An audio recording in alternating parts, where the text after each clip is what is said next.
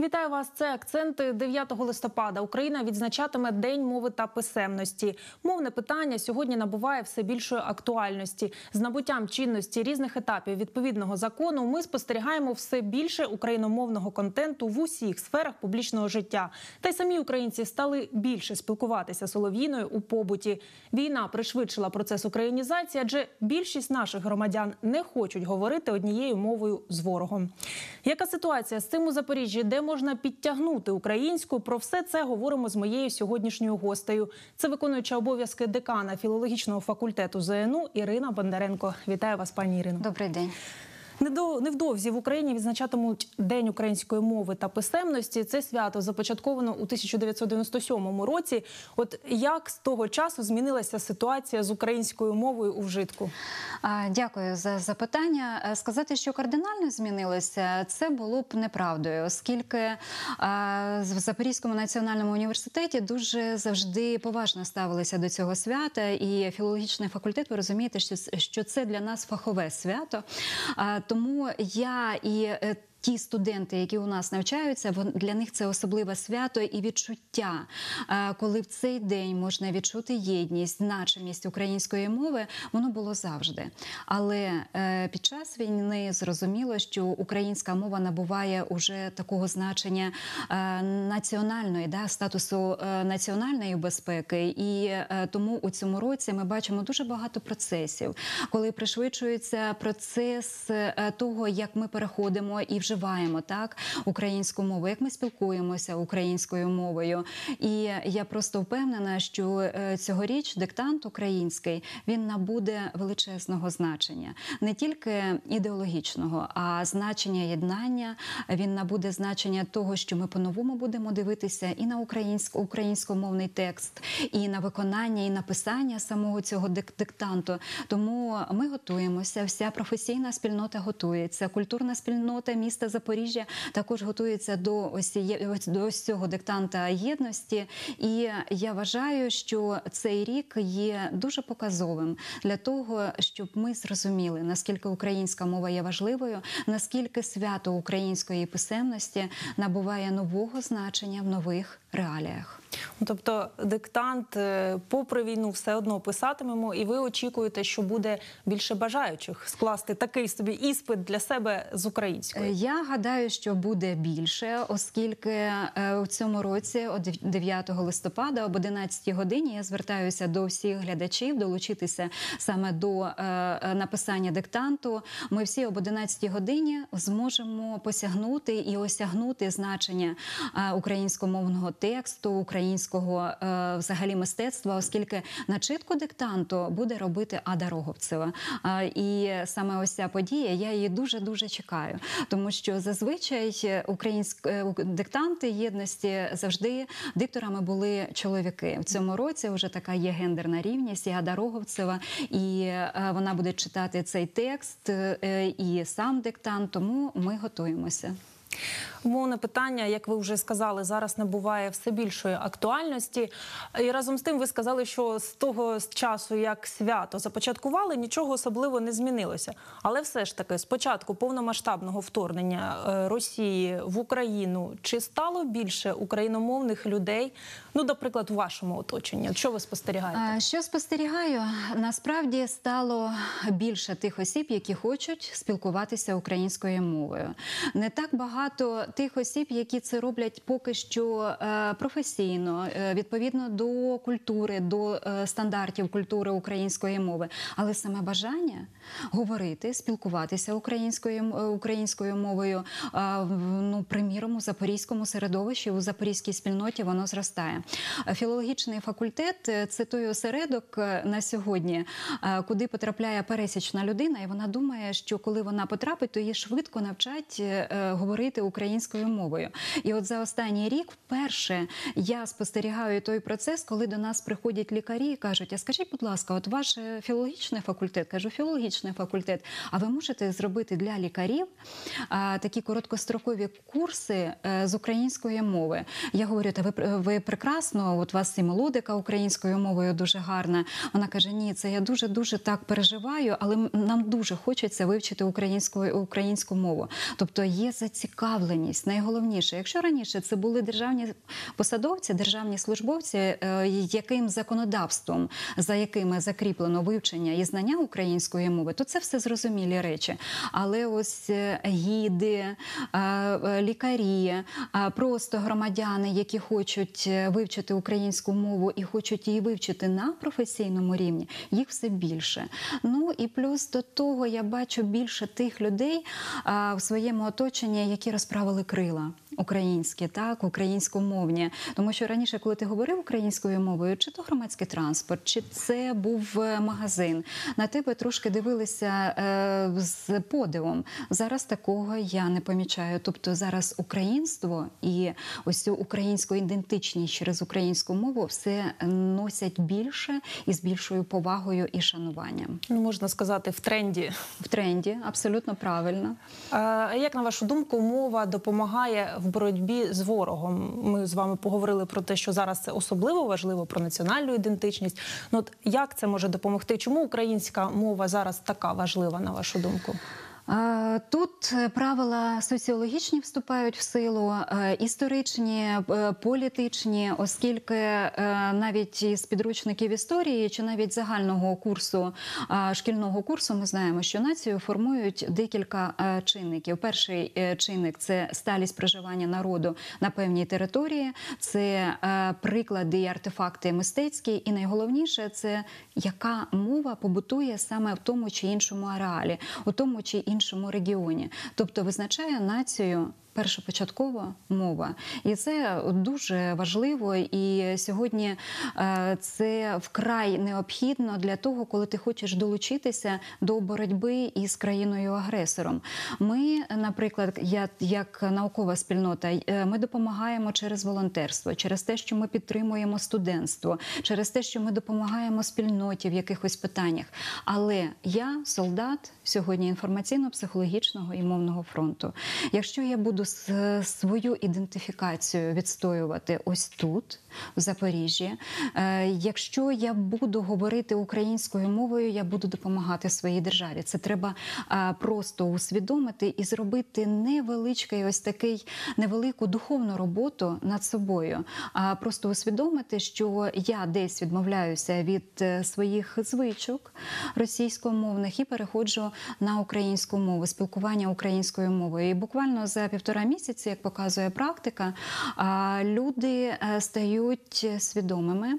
Е, е, Кожен громадянин може відчути свою.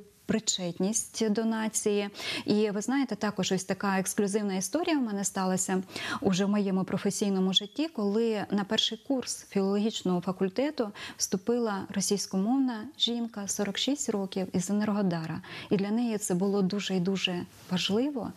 Е, Вивчити українську мову, і вона зробила, величезну духовну роботу над собою. І вона каже: таким саме способом я допомагаю своїй державі, я допомагаю своїм дітям, і я відроджую ось це почуття єдності.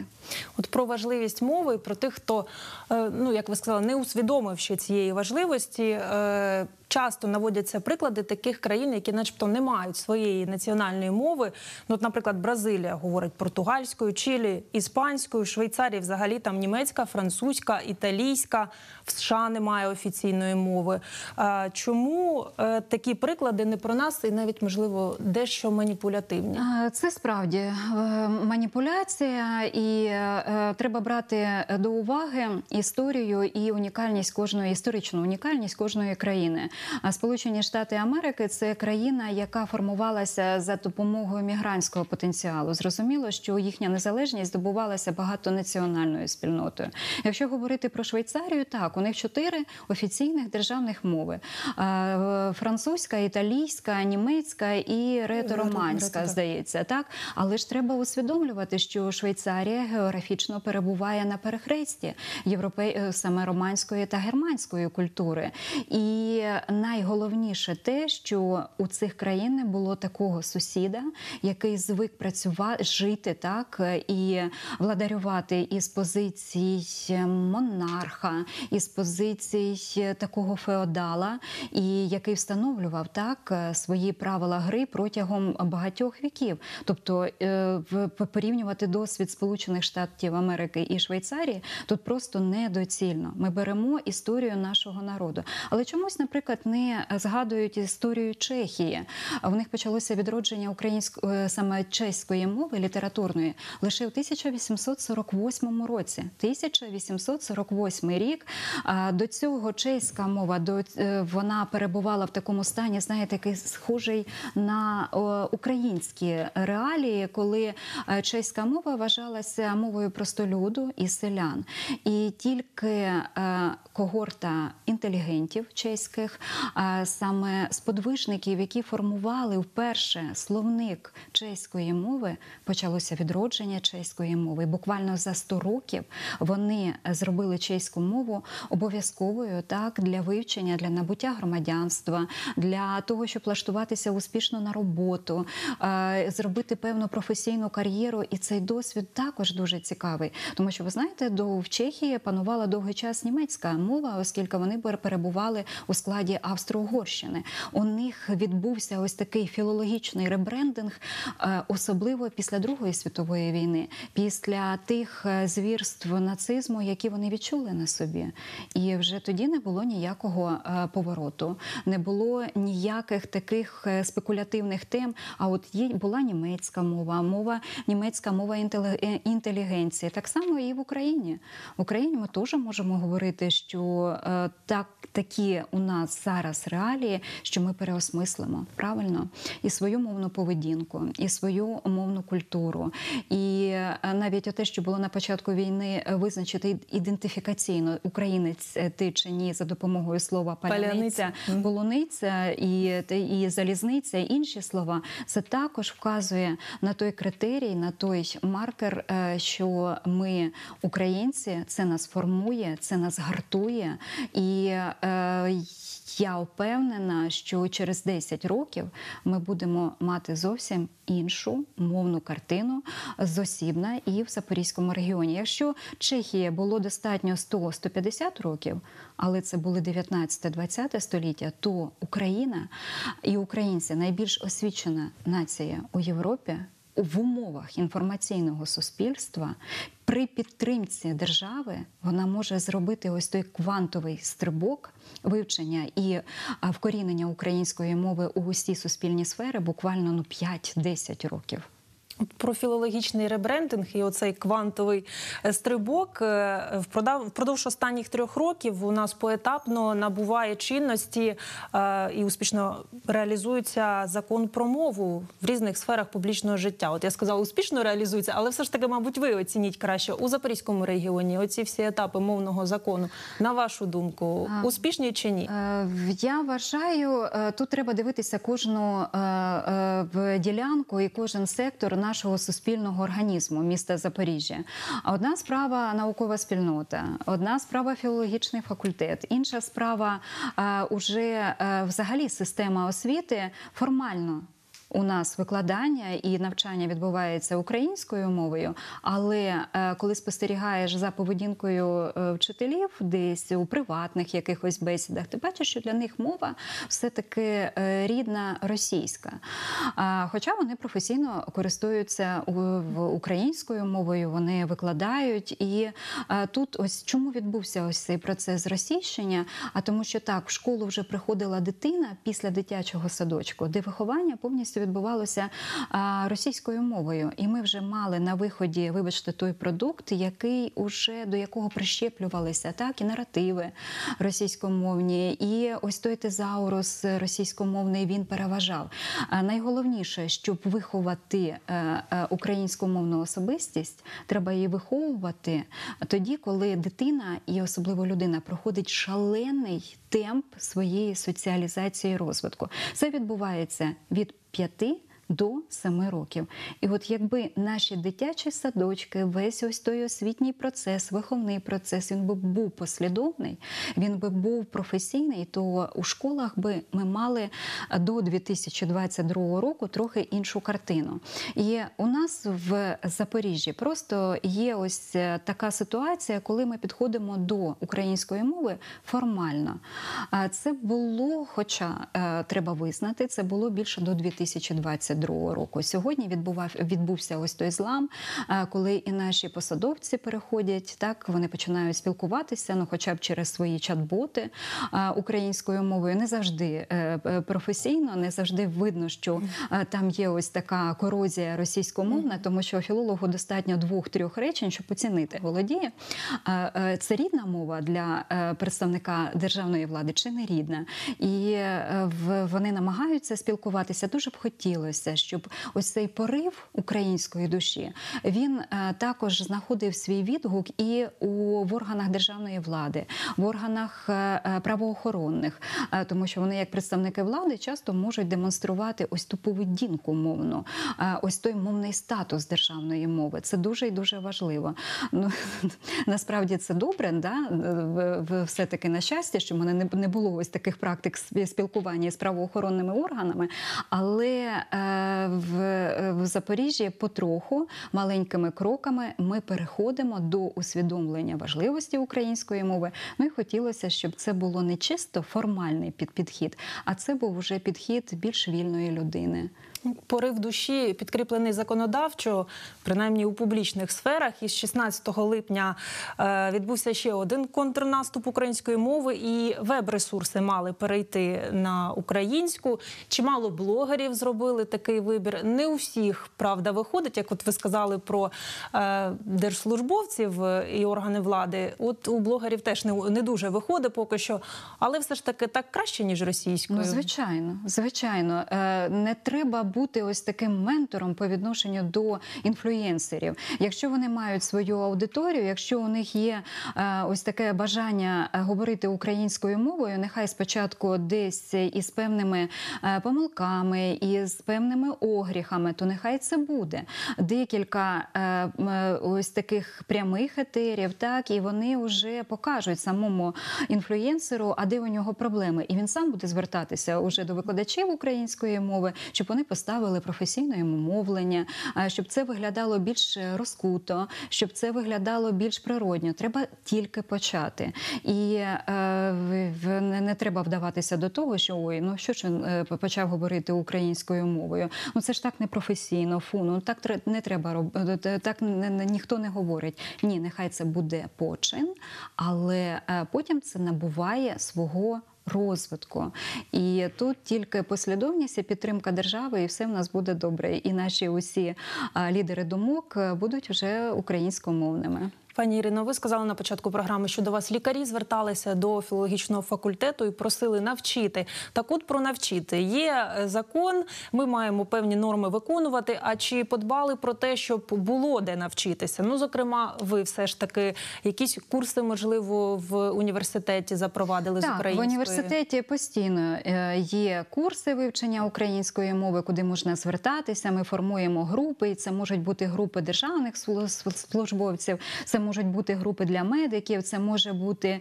будуть е, е, курси для вчителів, тому що для них також читається курс мовної компетентності. І через нас, е, через університет, проходить велика кількість ось таких людей. Але от держава чи має забезпечити держава ось таке системне вивчення української мови? Не варто гадати, що українській державі на сучасному етапі треба вдаватися до тих моделей, які панували у 20-х роках 20-го століття, коли е, були так звані е, програми ліквідації неписемності, е, коли були ось ті хати читальні, і куди просто приводили люд і десь там вчили по складах їх читати. Ну цього ж не треба робити. Повторюю, ми проживаємо і ми всі формуємося в інформаційному суспільстві. Достатньо декількох речей. Садочки українськомовні, навчання українськомовне. А весь той інформаційний продукт, який є в інформаційному просторі, телевізійному просторі, українськомовний. Далі е, український кін- кінематограф має величезне значення також для того, щоб у нас формувалася ось ця звичка, і ми привчалися е, мислити десь абстрактно саме українською мовою. Цього достатньо для підтримки. Так, для спонукання вивчати українську мову трошки е, треба знову ж таки запровадити ось е, той процес, коли відслідковується виконання мовного законодавства. Це санкції передбачені за це? так, е, і більше нічого в цьому плані не треба робити. Не треба думати, що треба людей зганяти і вивчати. Та людина, яка сьогодні хоче вивчити українську мову, так вона може звернутися за допомогою в університет. Університети дуже відкриті. Ну і в принципі, це е, зараз е, все реалізовується. Запрошуємо. Оточення. Оточення має бути так. Тобто те, те, що ви сказали, більше української має Більше бути української і переведіть свої телефони на інтерфейси і всі програми українською мовою. Це ваш інформаційний всесвіт, де ви формуєтеся все. Дякую вам, пані Ірино, за цікаву розмову. Е, Вітаю вас з прийдешнім святом. Дякую. Е, Це була виконуюча обов'язки декана філологічного факультету ЗНУ Ірина Бондаренко. Ми, українці, нам пощастило мати свою рідну національну мову та ще й таку гарну. Давайте спілкуватися українською, вчити та плекати її. Дякую, що дивилися акценти. Хай щастить і до зустрічі на телеканалі МТМ.